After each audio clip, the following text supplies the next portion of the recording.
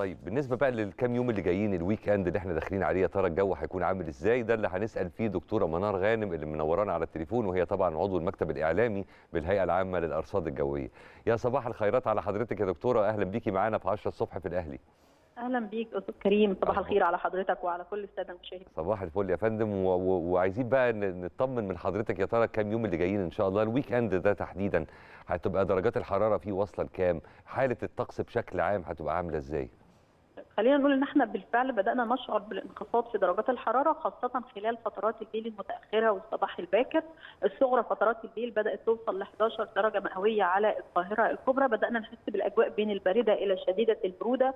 بتنخفض كمان أكثر في المدن الجديدة الأماكن الصحراوية. كمان فترات النهار مكمل معانا انخفاض درجات الحرارة لأن إحنا في تأثير منخفض جوي في طبقات الجو العليا. كمان كتل هوائية معظمها قادمة من الصحراء الشرقية أو كمان شبه الجزيره العربية منخفضة في درجات حرارتها خلال فترات الليل فإحنا بنشهد خلال فترات النهار استقرار في الأحوال الجوية سطوع لأشعة الشمس خلال فترات النهار فده بيخلينا نحس بالأجواء اللطيفة على أغلب المناطق الشمالية السواحل الشمالية محافظات الوجه البحري القاهرة الكبرى حتى شمال الصعيد. المناطق الجنوبية بنحس بالدفء والأجواء المعتدلة تماما خلال فترات النهار. العظمى على القاهرة الكبرى هتروح ما بين 19 وال 20 درجة مئوية خلال الأيام القادمة يعني الأجواء الشتوية المعتاده لمثل هذا الوقت من العام. لكن فترات الليل وخاصة ساعات الليل المتأخرة والصباح الباكر في ظل غياب أشعة الشمس هنحس بالبروده والأجواء اللي زي ما قلنا الباردة إلى شديدة البرودة آه، على أغلب المناطق اللي موجودة في الجمهورية. بالإضافة كمان إن الظاهرة الجوية المؤثره بشكل كبير خلال الأيام القادمة هو تكون الشبورة المائية الكثيفة على أغلب الطرق الزراعية والسريعة والقريبة من المسطحات المائية المؤدية من وإلى القاهرة الكبرى محافظات الوجه البحري السواحل الشمالية مدن القناه وشمال الصعيد شبورة مائية كثيفة يعني هتأثر على الرؤية الأفقية. أكيد دي مهمه مع جدا وتحذير في منتهى الأهمية لكل سائقي المركبات المختلفة وخصوصا إحنا داخلين على weekend وكمان راس سنة بقى كل سنة حضرتك طيبة وفي ناس كتير في الأجازات اللي من النوع ده بيروحوا محافظاتهم أو بيزوروا محافظات تانية.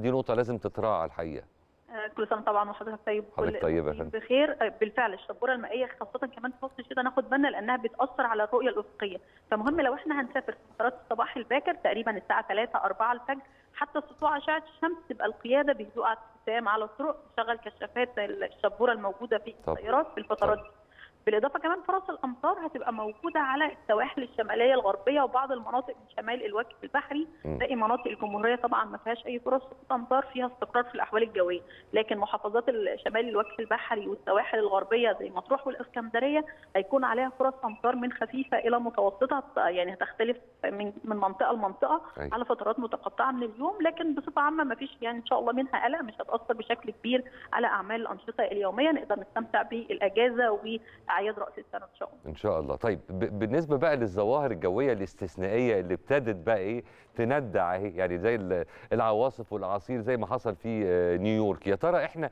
بعيد عن النوع ده من الأعاصير ومن العواصف ولا وارد؟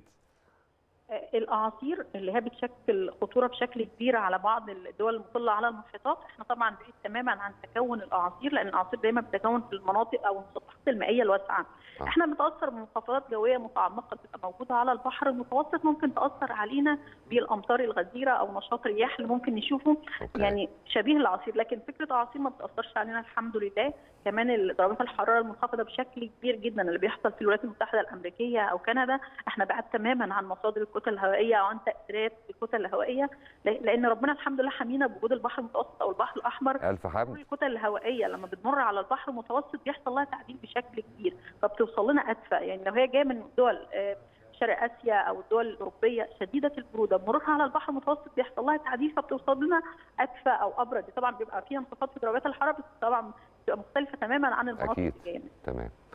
جميل. أنا شاكر لحضرتك يا فندم وجودك معانا. جزيل الشكر وكل سنة وحضرتك طيبة وأهل بيتك طيبين يا رب. شكرا جزيلا لحضرتك. ربنا يخليك يا فندم.